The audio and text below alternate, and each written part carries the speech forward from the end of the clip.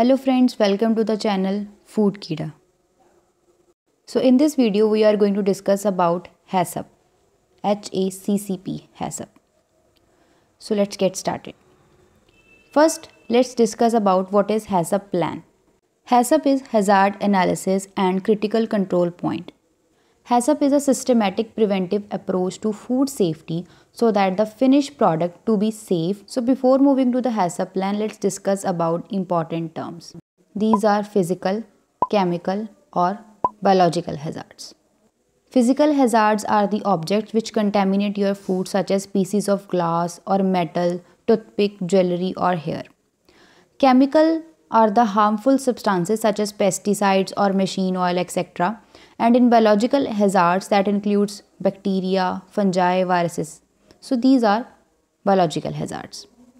Let's discuss the step and principle of HACCP. First step is conduct a hazard analysis. Second is determine the critical control points. Third is establish critical limits and then fourth establish monitoring procedures. Fifth is establish corrective actions Sixth, verification. And last, seventh is record keeping and documentation. Let's discuss each principle in detail. First is conduct a hazard analysis. So first step in developing a HACCP plan is to conduct a hazard analysis. This involves evaluating potential hazards that may arise during food preparation processes. So during the hazard analysis, you'll want to identify where biological, chemical or physical hazards are likely to occur. So these are especially important when you are working with TCS foods. TCS food is the food that require time and temperature control for safety. For example, raw chicken breast is the often prepped, grilled and served in the same day the potential danger with chicken is that bacteria may be present in the finished product if it is not cooked correctly. So bacteria are a potential biological hazard in this case. Second principle is determine critical control points. Once you have analyzed potential hazards, it is important to identify where hazards contamination can occur.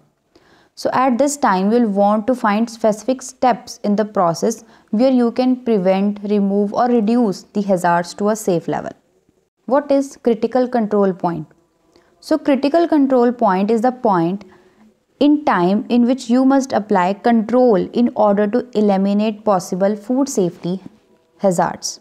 So common critical points include receiving food from your supplier, then storing the food before preparation, handling and preparing food, cooking and reheating food, holding hot and cold food during service.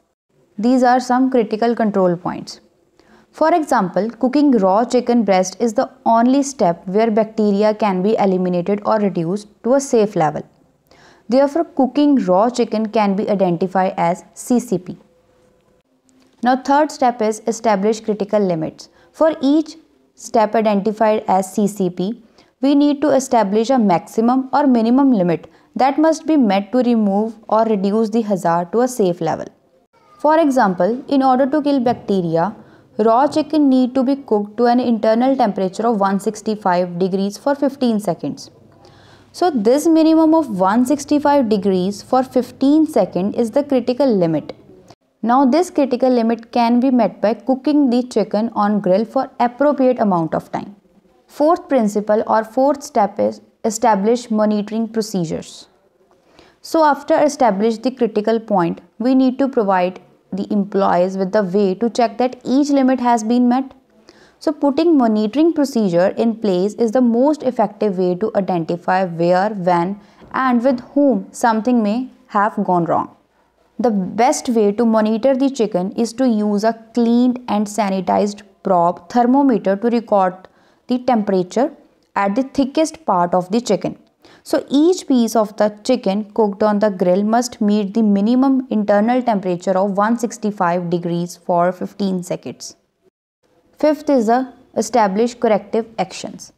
So if a critical limit is not met during the process, so it is called deviation.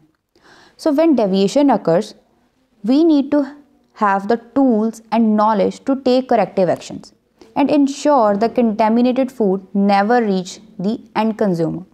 So the steps of corrective action should be determine the cause of deviation, correct it if possible and then documenting the deviation.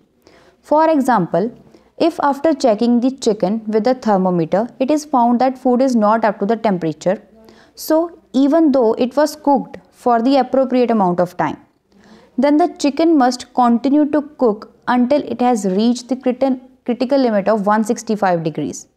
So this additional cooking should be recorded. Sixth step is the verification.